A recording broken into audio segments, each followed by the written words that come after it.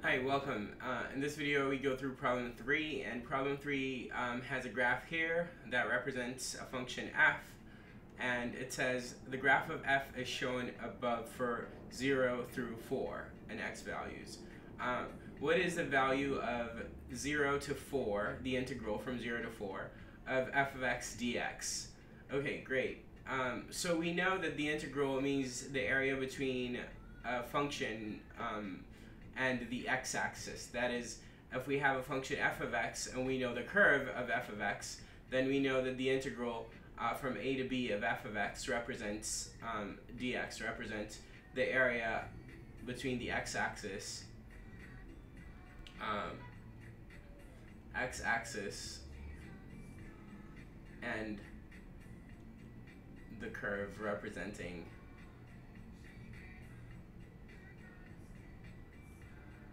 f of x. Okay, so here the curve representing f of x is uh, this line there uh, with a positive slope and this horizontal line there with no slope.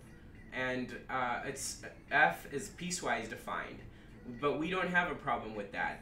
We can find integrals uh, over finitely many discontinuities. So we're fine. Discontinuities do not make you uh, unintegrable, if you will.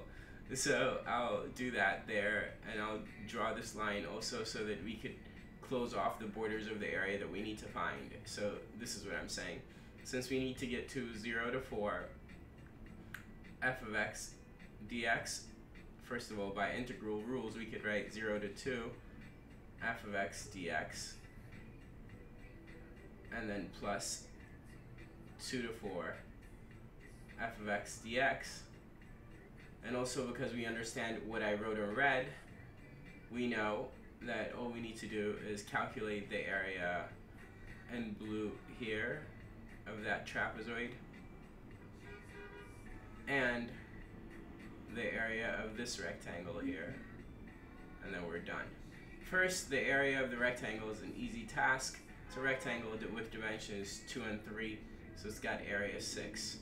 Remember, it's below the x-axis. So area below the x-axis carries a negative sign to it, so it's negative 6 actually. And the area here is that of a trapezoid with base here and here, right? And those two bases we would average in finding the area, and so 1 plus 5 over 2. I proved this formula for a trapezoid in my geometry video, so feel free to check that out. But we multiply the average of the bases by the height of the trapezoid in order to find its area, and the height is this here, right? So we multiply this by 2 and find that this is saying 3 times 2, so this is positive 6. So what we've got is the integral from 0 to 4 of f of x dx is equal to positive 6 plus a negative 6, which is positive 6 minus 6, which is 0. Therefore, answer choice B. Okay, take care.